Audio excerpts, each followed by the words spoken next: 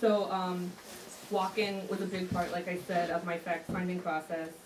Um, you know, I didn't necessarily know what I was looking for, but I know that I knew that a lot of, um, you know, ambulation was a part of it. Um, it's definitely like my favorite pace at which to gather uh, to information about an environment. So tonight I've uh, I borrowed the LaBeouf family uh, metronome to help simulate uh, something along those lines.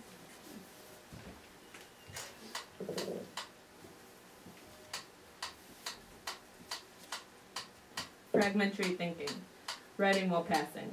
I've never trusted a thought that didn't come while walking. Rolodex says time machine at the tips of your fingers. Some patterns are deeply ground to the brain. Synapses misfire. New thoughts make wrinkles appear. A word you've never heard. A memory from way back. Bubbling to the front. A totally new thought. First appearance on planet Earth. Passing as a student or something other than a scumbag. Momentary assessment. A few beats. A reading. Am I young? Am I old? Just scary enough to leave alone. Waiting for the bus, reading a book, black cat, or black coat, big hair. Public translation, inarticulate fragments, like half painted over signs. Dwelling in certain K-holes. I'm a time machine on spaceship Earth. The heels of my shoes worn down.